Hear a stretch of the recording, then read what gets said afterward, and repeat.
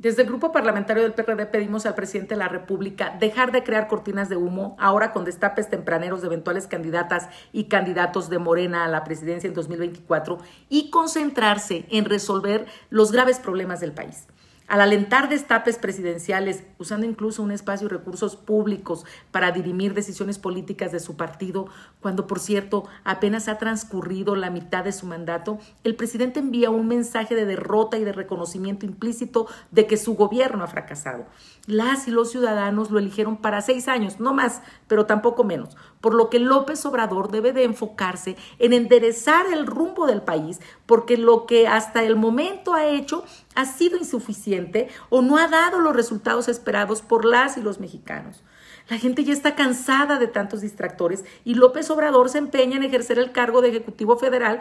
al tiempo que conduce Morena, diseña campañas, usa los recursos públicos con fines clientelares y ahora organiza su sucesión, mientras el país estanca en el peor de los casos y registra serios retrocesos en muchos rubros. La recuperación del empleo, por ejemplo. Este es uno de los temas urgentes que demanda la atención del presidente. Ya hemos sido testigos de cómo para bailar la crisis por la que atraviesan cada vez un mayor número de trabajadoras y trabajadores están recurriendo a los retiros por desempleo de sus afores.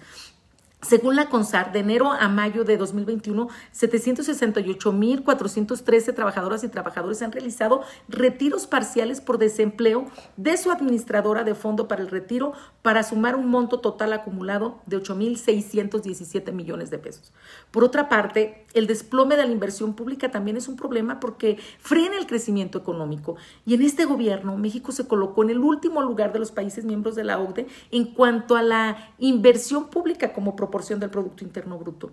Una crisis más que también demanda la atención del gobierno federal es la insuficiencia de recursos de la gran mayoría de las familias mexicanas para adquirir la canasta básica. Según el Coneval, en el primer trimestre de 2020 y el mismo periodo de 2021, el número de personas que no pudieron adquirir la canasta alimentaria a pesar de tener una percepción laboral se incrementó en 3.8 puntos a nivel nacional